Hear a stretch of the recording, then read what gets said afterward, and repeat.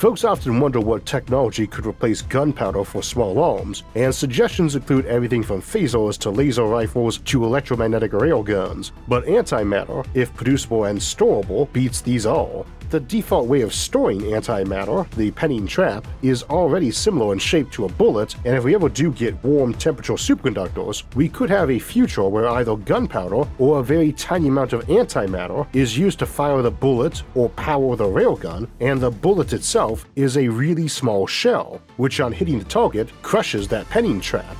Even if only 1% of the mass of that bullet was antimatter, a 1 kilogram magazine of 10,000 tiny little shells would carry 250 kilotons of explosive potential in it, each one the equivalent of thermobaric weapons like the MOAB fuel air bombs. This allows a lone infantryman to eradicate large structures with a single trigger pull, level cities, or fight giant mecha, kaiju, or Cthulhu himself.